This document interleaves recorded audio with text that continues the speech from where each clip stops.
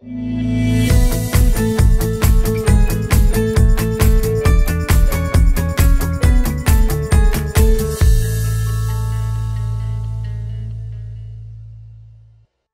mēdz būt ļoti dažādas. Un reizēm, tad, kad atrodamies savās mājās, mēs vakaros varam ieslēgt televizoru un paskatīties, kas notiek citās mājās.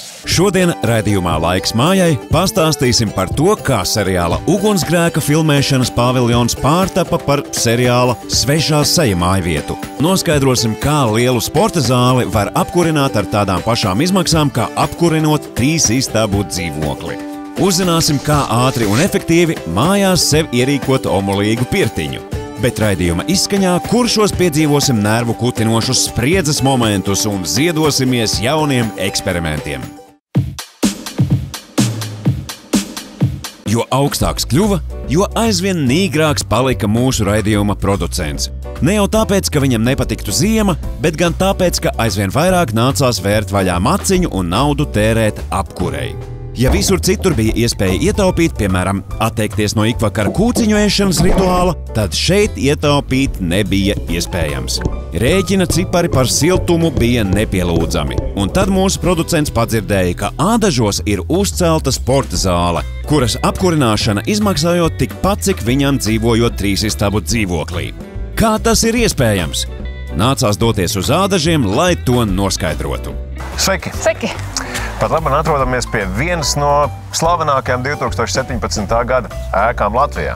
Jā, tieši tā. Kas šī ir pa māju? Ādažu brīvās Aldorfas skolas sporta zāle. Un ar ko tā ir tik īpaša? Nu šogad, 2017. gadā, mēs tikām nominēti kā sabie, energoefektīvākā sabiedriskā ēka Latvijā. Tātad ļoti energoefektīva. Ar, ar ko viņi tieši ir izpelnījušies šādu titulu? Šajā mājā tiek izmantoti atjaunojami energoresursi. Proti kādi? Zemes siltumsūknis. Mēs iegūstam siltumu no zemes, Aha. saules kolektori un saules fotovoltiskās baterijas. Tā tad ne gāze, ne ogles, ne grānulas, ne malka. Ne. Pilnīgi nekas no tā visa. Viss dabīgs. Tātad viss tā jēga ir tajā enerģijas iegūšanas veidā. Enerģijas iegūšanas un enerģijas taupīšanas veidā, jo kups ir visenergoefektīvākais, jo ja tur būtu cakas, mēs nedabūtu šo energoefektivitāti. Aha. Šie paneļi mums ir kas? Saules kolektori. Ko šie saules paneļi dara? Viņi ražo silto ūdeni, lai Aha. bērniem un sportistiem būtu iespēja dušās nomazgāties. Nu, laipni lūgtu. Skaisti šeit. Jā, nu varu uzreiz pievērst uzmanību. Tie augšā ir griestu paneļi, ar ko tiek sildīta sporta zāle. Tātad radiatori ir pie griestiem šoreiz. Viņi nav ne zemē, ne sānos, viņi ir pie griestiem, jo energoauditors izreikināja, ka tas ir visefektīvāk. Tad, kad, piemēram, bērni ienāk uz sportu, šie griezti paneļi ieslēdzās un viņi uzsilda zāli kādās 5-10 minūtēs. Aha, un telpa ir gana silta, lai bērni varētu sportot. Un tāpat laikā, kad beidzas sporta nodarbības, viņa atslēdzās un nevajadzīgi neuzsilda šo telpu. Vai tā visa apsildīšana notiek tieši no tiem saules paneļiem, jeb, jeb tas ir siltumsūknis, kas viņus darbina? Tātad kā pamats mums ir zemes siltumsūknis, bet dienās, kad ir uh, saule, strādā saules kolektori. Un, ja ir saule, tad strādā tikai kolektori, un ja viņi spēj visu nodrošināt, tad uh, zemes siltumsūknis nemaz neieslēdzās. Tad, kad pietrūkst mazliet saulītes, tad strādā zemes siltumsūknis. Un tas viss tiek uh, regulēts automātiski? Jā. Te ir mūsu sporta zāles siltuma sirds. Šeit ir tās tvertnes, kurās uzglabā šis siltais ūdens, kas nāk gan no zemes siltumsūkņa, gan no saules kolektoriem. Un te viņš uzglabājas, un pēc tam tiek aizvadīts uz griestu paneļiem, ko mēs redzējām sporta zālē, vai arī kā karstais ūdens dušās. Un te mums ir viena ļoti liela ventilācijas sistēma un otra mazāka. Lielā tā ir sporta zāle. Mums sporta zālē ir salikti sensori, kuri jau jūt, kad ir CO2 gana daudz, tad viņi ieslēdzās un ielaiž svaigo gaisu. Sistēmā ir iestrādāts tas, ka netīrais gaiss ejot ārā uzsilda svaigo gaisu ienākot iekšā. Pat tik smalki. Pat tik smalki. Pat gaiss tiek izmantots, ko sēlpo paši sportisti. Kā tādā vienkāršā tautas valodā varētu saprast, cik energoefektīva ir šī ēka? Šo pašu jautājumu es arī uzdevu energoauditoram, jo es arī teicu, nu kā lai es cilvēks vienkārši saprotu. Un viņš man saka, nu, trīs stabu dzīvokli zini.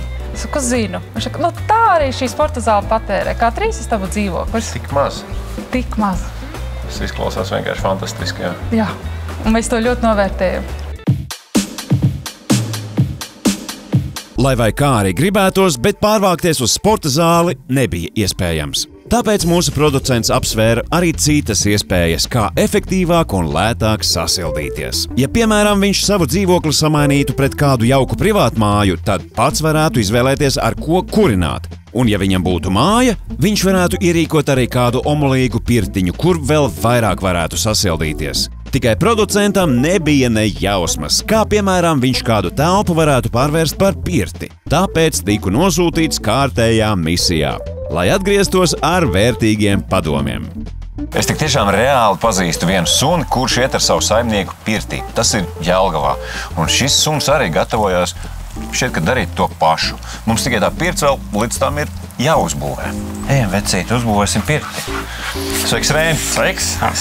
Nu tad, kas mums ar to pirti tur vēl ir palicis? Ko darīt? Nu tā, es jau te šorīt mazliet esmu padarbojies. Redz, viena siena ir gatava. Tev es uzticēšu vispārējos darbus. Labi! Šeit ir šī loksne. Var pataustīt, cik viņa ir smaga, viegla. Standartā mums būtu jāliek arī kaut kādas latojumas, bet šajā gadījumā, ka šīs plāksnes ir arī cietas, spiedz izturīgas, jā, mēs varam viņus likt patiešām uz sienas, ievērojot visus šos 14 punktus. Uzbūvēsim viens, divi, gatavs. Loksnes mēs liksim, skaties, otrs šādi mēs arī sāksim likt viņus. Labi.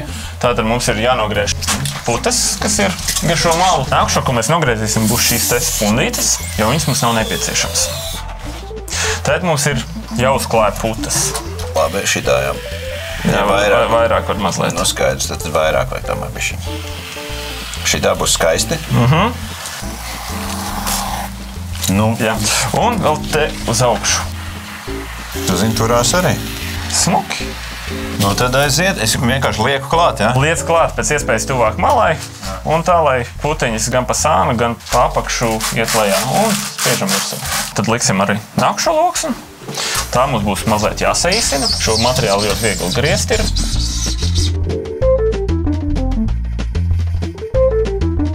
Mēs tagad viņu piestiprināsim, lai viņi kārtīgi stāvētu vietā. Kā mēs to darīsim? Protams, ar perforatoru. Šeit būs dībeļi, katrā caurumā pa vienam.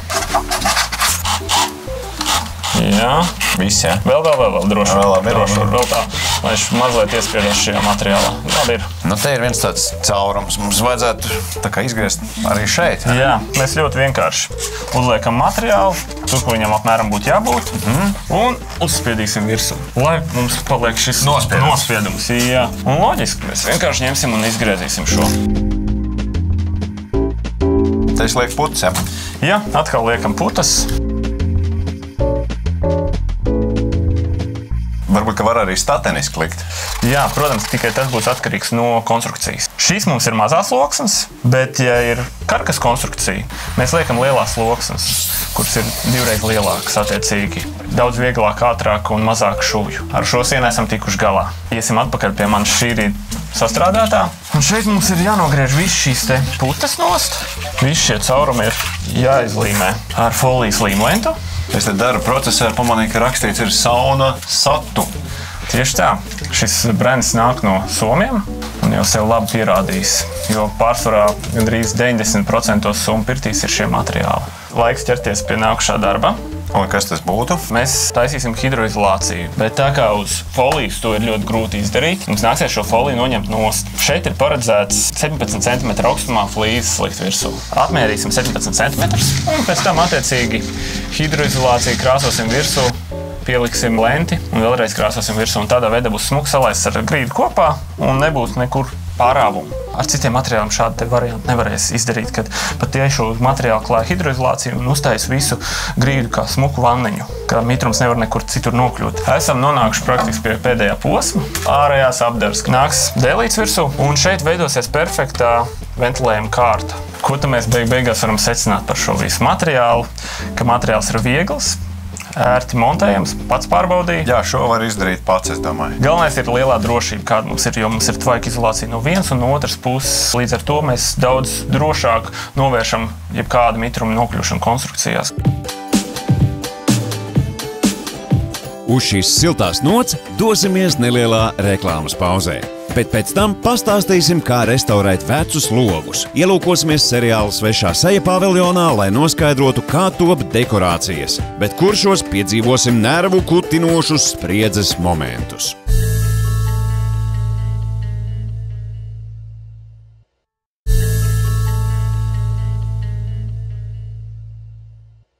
Kad mēs ar producentu kārtējo reizi vērojām jumtus un fasādes, sākām aizdomāties par logiem. Bija tik ierasti, ka vecos logus mēs nomainījām pret mūsdienīgiem, moderniem, priecājāmies par paketēm un siltumu, bet kā ar vēsturiskām ēkām? Būtu visai jocīgi, ja, piemēram, jaukajā, mājīgajā, kuldīgā, senajās ēkās parādītos plastmasas logi. Bet tomēr cilvēki te dzīvo un acīm redzot nesalst. Tātad viņi māk šos logus atjaunot. Drīz vien nonācām arī Kuldīgas restaurācijas darbnīcā, kas izrādās ir vienīgā visā valstī, kur vietējie var nākt un atjaunot logus. Sveiks! Sveiki, Ansis. Jānis. Runā, ka jūs esat pirmie, kas sāk savu restaurācijas darbnīcu Latvijā vispār. Mūsu restaurācijas centrs ir izveidojies eh, 2010. gadā, bet tā iedzīvotājiem strādāt un, un padziļinātāk pētīt un, un mācīt arī praktiski rādīt, tad mēs jau sākām apmēram 2008. gads. Tas bija Piemēram, ja es būtu kuldīdznieks un man būtu kaut kas restaurējams, es vienkārši varu nākt pie tevis šeit, runāties. Un... Ja pirmais ir tas, ka mēs konsultējam iedzīvotājus eh, par jebkādiem jautājumiem uz vēsturiskā ēka saglabāšanu un atjaunošanu. Viena ir šī loga akcija, kas notiek pirms, kad iedzīvotājs nāk pats ar savu rāmi. Mūsu klātbūtnē atjauno logu, un viņš nākotnē jau pats var pārstiklot to logu. Ir glābšanas programma. Ēkas, kas atrodas piemineklī, iedzīvotāji var dabūt 50% līdzfinansējumu, sākot ar jumtu nomaiņu, fasāžu krāsošanu. Tas ļoti mīļi, ka kuldīdznieks var atnākt ar savu logu un teikt, hei, Jā, man vajadzētu tagad savest šito kārtībā, un tas arī notiek. Jā, protams, no sākuma, kas ir jāveic, tā ir vizuāla apsekošana. Jānodefinē, vai tas lokus ir vēsturisks. Mm -hmm. Otrais, kādā tehniskā stāvā iespējams, ka viņu pat nav iespējams restaurēt, ka viņam jāizgatavo jaunu. Tad mēs iesakām savus piesaistītos amatniekus. Reku, Jā, te tev stāv viens lokus. Šim te loga rāmim ir process tik tālu, ka bojātās daļas, kā mēs redzam, šeit ir ieprotezētas. Nogruntēts ar linēļu pernīcu. Viņš ir, viņam atliek būtībā šo logu iestiklot un nokrāsot un piestiprināt metāla aprīkojumu. Šī ir linēļas ķite. Linēļas ķite sastāv no krīta un linēļas pernīcas. Nu, Tā kā mīkla ir mazliet. Jā, ne? kā Mikls, ej, Bet, nu, nevar. Pie pirkstiem nelīp nemaz tik ļoti. Tā ir rīktīgi, vai ne? Nu, tā jā, jā, lai viņi tādi mīksti. Labi. Pēc tam vieglāk būs vilkt ar lāpstiņu. Mēs šādi te liekam iekšā. Jā, nu, te jau var redzēt, ka tu pirmo reizi to nedari. Jā, jā. Cik ātri ieklāja, nav svarīgs, bet gala rezultāts ir kvalitīvs. Tad, tagad ir tā, ka mēs šādi uzspiežam, ieblīvējam viņu kārtīgi, tur, lai viņi to aizpilda. Droši vien līdzīgi darīja arī pirms kādiem simts gadiem, 200. Jā, jo lokus iestiklots ar koku līstiņām. Lietas gadījumā viņš aizteikties tas koku līsts, kur laika gaitā rukuma rezultātā un brīvšanas rezultātā atslāņosies no tā stikla, tiek mitums, viņš neestek ārā. Ja tā ķita, tad uh, Ūdens notiek garām. Jā, viņš notiek un par ānu lejā. Tā, tagad mēs esam tikuši tik tālu, ka nu, ir tas atbildīgākais darbs, lai Tas būtu skaistākais. Lai skaisti izskatītos. Tad pirmais ir, ka mēs lāpstiņu stūri atrodam stikla grobas platumu. Ja mēs novilksim nosadzošo kārtu, kas ir platāka par šo, ko mēs redzam caur, tad mums būs no interjera puses diskomforts. Mm -hmm. Mēs redzēsim priekšā ķīti. Pirms stiklošanas uh, stikla gropa apstrādā ar laku. Lai koku materiāls netiktu klāts pie ķites, aiztvils eļļas un neiesūkt sevī. Jo tad ātri laika gaitā paliks pārkrīts un viņš nobirs. Ā. Mums ir jāgaida pēc e, iestiklošanas no 4. līdz 10. dienai. Šajā laika posmā jāuzsāk loka krāsošana. Pēc četrām dienām ķite ir nedaudz apvilkusies un ar rotu nevar ievilkt ķitē līnijas. Viņa vēl šajā brīdī, kamēr vēl tāda pamīksta, saistās ļoti laba krāsa. Tad finālā ir pilnīgi vēsturiski sagatavots lokus. Jā, ar tradicionālajiem materiāliem. Ir vecam logam ir trīs lietas, kas ir jāizdara. Pirmais, iekšējās vērtības mēs varam iestrādāt blīvumi. Otrais, ko vienmēr nekad neizdara, loga aplode iebūvēta loga mūrā ailā. Iekšpusē jā, jāatskauda apmetums nost, un šī daļa jānodarīvē pa jaunu, jo laika gaitā tur izzūd, un tur jau vislielākie siltuma zudumi notiek. Mēs stiklu ieliekam uz ķiti, šajā daļā gar līsti netiek augstums. Šīs te trīs lietas izdarot, noraksturot logu, būtībā rādītāji tādi paši kā stikla paketē. Tad var teikt, ka vēsturiski materiāli, vēsturiski logi un vēsturiski skaista kuldīga. Jā. Kad mājā ir silti un jauki, tad vakaros ar kūpošu tējas tasi ir tik labi ierušināties divānā un ieslēgt televizoru. Vismaz tāds rituāls bija mūsu producentam, un tā pavisam nejauši viņš sāka skatīties elpu aizraujošu seriālu. Un jo vairāk viņš skatījās, jo vairāk sāka aizdomāties par istabām. Tās tur bija tik daudz un dažādas, un tāpēc arī tika nosūtīts uzzināt, kur tas viss atrodas un kā tad top šīs greznās telpas. Sveiki, tad cik kvadrātmetros īsti es esmu apmaldījies tagad? Nu, apmēram 1000 kvadrātmetros. Tas tā kā Holivudā, vai ne? Ritīgs paljons. Man grūti pateikt, kā Holivudā es neesmu bijusi, bet nu, man gribētos ticēt un cerēt, ka tas tā ir. Un kas tad īsti ir mainījies? Mainījies ir tas, ka mums bija uzbūvēts divas viesnīcas, tagad mums ir uzbūvēti pieci dažādi objekti. Esmu vienīgais, kuram interesē, kas lācītim ir vēderā. Kā tad īsti viss šeit notiek? Nu, šeit notiek viss kā dzīvē. Kā visu nojauc, tā jaunais viss uzreiz top. Cik ilgi jaunais tapa? Kad visi vēl veco filmē, mākslinieks jau strādā uz jaunu. Tā kā man darbs sākās jau februārī. Šeit patreiz ir viesnīca, viesunams. Kādreiz šeit bija ugunsgrēkā vestibils. Redziet, šeit ir turpinājums, kafejnīca. Nojauktas ir sienas, nojauktas ir izējas, uztaisītas jaunas izējas, un līdz ar to telpa ir pilnīgi cita. Šeit mēs ejam iekšā, un mēs atrodamies virtuvē. Nu, ziniet, kas bija visbriesmīgākais? Ir pieci objekti, bagāti, nabagi, vēl slimnīca. Bija visgrūtāk atrast telpu izvietojumu tā, lai pavarot vienas durvis neatklājās, piemēram, tas, ko nevajadzētu skatītājiem redzēt. Kur mēs esam? Klīnikā. Mums ir šeit operāciju zāle. Prasījās jau vairāk tehnikas, vairāk plīzes. Bet nu, arī ir labi, kā ir. Neviens jau nevar pamanīt, ka šeit, piemēram, ir slimnīcas, bet patiesībā šeit ir redziet, pavisam citi tēvi. Šeit virtuvē. Arī ne pa tēmai, it kā pie slimnīcas. Šeit eh, mēs esam citā zonā, mēs esam pie restorāna jau nonākuši. Restorānu virtuvē. Jā, restorāna virtuvē. Šī te lēdija ienes savu auru kaut kādu ar to savu strūklaku. Tad mums tie puiši nabaga, kā viņi stiepa. Viņa ir ļoti smaga. Tas viens šķīvis sver vairāk kā 100 kg. Ziniet, kas ir pats labākais? Ja aktieri, kas šeit ir pāris, kas ir bijuši, ja viņi apmaldās studijā un nesaprot, kur atrodas, nu, tas ir labi. Tad man prieks. Tad var apskatīties, kā izskatās aiz sienas. Jā, tas ir ļoti interesanti. Jā. Tas man vienmēr ir interesējis, kā tad ir uzbūvēts šīs sienas. Vislabākais skats jums būtu no augšas nofilmēt, cik tā studija ir tā kā leņķa māja. Šeit mēs atkal pēkšņi nonākam pilnīgi citā telpā. Šeit ir klīnikas pieņemamā. Nu, teikšu tā, katrā izskatās citādāk. Šeit laikam baigās skaņa bija, vai ne? Tāpēc tie slāpētāji uzlika. Skaņa, jā, mūsu skaņa operators te juka prātā, jo akustika tāda, ka tu pasaki un viss novibrē. Bija jāsaprot, kā šo telpu padarīt neatpazīstamu, jo kāpnes ir tās, kuras mēs nevaram likvidēt. Un tad, nu, viņas tāpa tādas. Un tad mēs paņēmām cēlpu vēl klāt, un redziet, nemaz nevar atpazīt Jā, jā, patiesībā. cits tonis arī pavisam. Un arī, tas jā. gleznas. Un tad te mēs dodamies uz otro stāvu. Tā tad.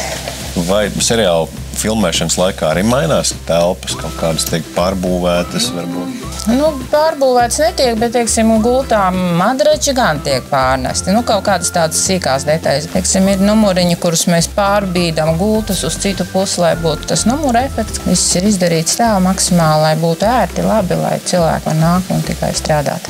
Nu, čau, kā tu jūties šajās jaunajās dekorācijās? Labi, es jūtos nedaudz uh, pierasti, jo ugunsgrēkā bija līdzīgs izvietojums, bet tajā pašā laikā svaigi, jo ir kaut kas arī ļoti, ļoti mainījies. Nu, Nav tā, ka var apmaldīties. Nē, man šķiet, ka visi, kas ir strādājuši pie Intas arī agrāk, tie, tie ļoti labi zina šos labirintus. Nu, cik kopā istabas? Labs jautājums. Kā jau tu zini? Daudz. Tiešām daudz, jo es arī tagad filmējos jau, nu, jau kuro mēnesi un atklāju ar vien jaunas telpas. Mums ar producentu arī ļoti gribējās nofilmēties kādā seriālā, bet neviens mūs neņēma. Nesot tik talantīgi. Tad, nu, Helovīnos nolēmām paši sev uzrīkot kārtīgu seriālu ar pārģērbšanos un ballīti Holivudas stilā ar šausmu filmu elementiem. Producentam tā iepatikās šausmu filmu cienīgi momenti, ka viņš no tā visa nespēja atteikties arī mūsu raidījuma filmēšanas laukumā.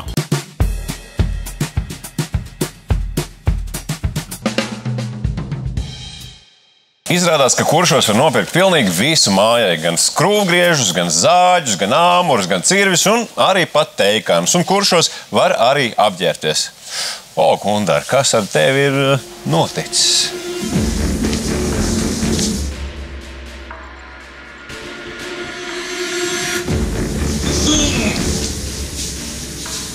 Redz šo te āmuru. Jā, Es tev varētu piedāvāt nedaudz uzsist par kājām. kāds laipns piedāvājums. Bet īstenībā es par darba apģērbiem te varētu pastāstīt. Un arī par darba apaviem. Tādēļ arī tāds piedāvājums. Redz, kāda man cepura. Jā, nu diezgan tā. Kā tev liekas? Tā ir nu, parasta nu, cepurīte, pareizi. Nu, kepka. Kepka. Jā. Tu pieklauvē. Okay, nu. À. Tā ir patiesībā aizsardzība. Ķivere, Jā. Tāda vesta tev ir. Nav. Nav. Lūdzu. Viltīgi sajūta. Tik tagad var iet uz kaut ko darīt. Jā. It kā nekas, bet tāpat laikā var sakrāmēt pusi iedzīvi iekšā. Vēsti brīnišķīgi. vienkārši. Vēsti ir Bet brīnišķīgi. tikai ziema nāk kaut ko vajadzētu Ziemā nāk siltāk. ir plānāks virseks, ir biezāks virseks. Nu, kāda, kāda sajūta ir? O, baigi labāk tā. baigi. Ir silts, Jā, jā. Ir tāda sajūta, ka var cits augstumā un jā, jā. darboties. Kā tu raugies uz termojakām? Fantastiski. Vai Termojāks. ir, vai, vai ir informācija, kas tas ir vispār? Plāns jakas, kas ir reāli aiztur augstumu. Jā. Nu, kā jūties? Nu, baigi labi. Aizies, jā, jā, jā, tā visam ir tāds stilīgāks. Visnotaļ, noteikti. Tas, ka šīs te jakas ir plānas, kā tu jūti, ar viņām ir salīdzinoši viegli kustēties. Ļoti vienkārši cepuri, pareizi. Jā. Nu, Tāds klasika. nu, klasisks ziemas cepuri. -hmm. Velc galvā skatāmies, kas iznāk. Nu, ko darām? Ar tādu cepuri ejam laupīt. Jā. Noderīgi dažādiem darbiem. Jā. Ir arī termovēļa. To tu droši vien nevilksi tagad mugurā. Nu, labi, nevilks. Apavari ir dažādi. Ir paredzēti slapjam laikam, sausam laikam, augstam laikam, siltam laikam. Paraugi, purngali, paraugi. Redz, kāds ciets. Metāls. Nereti gadās, ka patiešām arī smagi priekšmeti krīt uz kājām cilvēkiem, vai arī kāds mehānisks transporta līdzeklis var pārbraukt pāri. Tādēļ šie apavi ir ražoti ar ļoti, ļoti lielu mehāniskās slodzes noturību. Mehāniskā iedarbība. Kāda tā mēdz būt? Pirmkārt, jau, ja Gunārs staigā pa būvlauku, viņš ir uzkāpis uz kājas. Es, es visticamāk arī to izdarīšu. Nu, kā jūties? Brīnišķīgi, vispār neko nejūt. Nē, nē pilnīgi viss. Mēs kārtībā jā? nejūt, nē. ņemam nākamo līmeni. Nu, kā jūties? Pagaidām viss zolīti. Redzēs, palaidu vaļā. Kā tu skaties uz šādu? Jau ar, Iedarbību. ar bažām. Nu, aiziet! Nu, kā pārsteidz- jūties? Pārsteidzoši labi pagaidām. Nu, Pie mums jā. kuršos var iegādāties dažādu veidu apģērbus un dažādu veidu darba apavus. Ir ļoti svarīga lieta šīs te preces izvēlēties tieši pēc savas funkcionalitātes un pielietojamības, un, un varbūt estētisko baudījumu atstāt otrā vietā. Kāja par laimi man palika vesela, lai gan es klusi cerēju, ka rudenīgajā laikā varētu nedaudz paslimot. Bet tā kā producents neko tādu nepieļāva, tad tiekamies atkal nākamā sestdienā ar jauniem izaicinājumiem.